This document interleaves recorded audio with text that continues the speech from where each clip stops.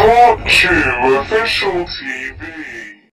Pelawak dan juga usahawan Syuib memaklumkan perkembangan terkini anak bonsunya Ayash Arfan yang terpaksa dilahirkan secara pramatang semalam mula menunjukkan respon positif. Menurut Syuib, doktor memberitahu bahawa bayi tujuh bulan itu berada dalam keadaan stabil apabila mula memberi isyarat pergerakan pada anggota badangnya. Alhamdulillah, sedikit perkembangan terkini Aisyah Arfan. Dr. Faiz dari Hospital University Kebangsaan Malaysia SUKM memberitahu pagi ini bayi sudah buka mata, kaki sudah menendang-nendang, tangan bergerak aktif dan keadaan stabil. Pada masa sama, Syuib atau nama sebenarnya Syamirah Muhammad 37 turut mendoakan kesejahteraan isteri dan anaknya dipermudahkan segala urusan, diberi kesihatan yang baik dan terhindar daripada kemudaratan. Pagi tadi, Cosmo turut melaporkan bahawa isteri kepada Syuib yang juga penyanyi Siti Sarah masih belum sedarkan diri selepas ditidurkan untuk menjalani pembedahan mengeluarkan bayi sejak petang semalam. Bagaimanapun keadaan Sarah dilaporkan mula stabil apabila bacaan paras oksigen dalam badannya menunjukkan perkembangan yang baik.